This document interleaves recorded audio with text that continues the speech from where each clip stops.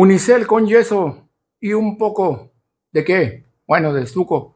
Se convirtió en tabiques, en tabiques blancos, resistentes y bonitos. Los vamos a pintar del color que sea, no importa.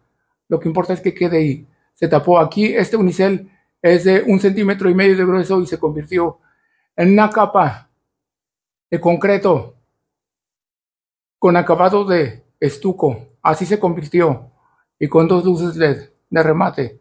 Ahí estamos en contacto. Todo se puede hacer. Hay que utilizar el material, el más delgadito, como el sheet rock. Es lo mismo, sheet rock, como en Estados Unidos. Ahí estamos en contacto. Así se convirtió. Estaba bien feo. Aquí lo veremos en el video, primeramente Dios.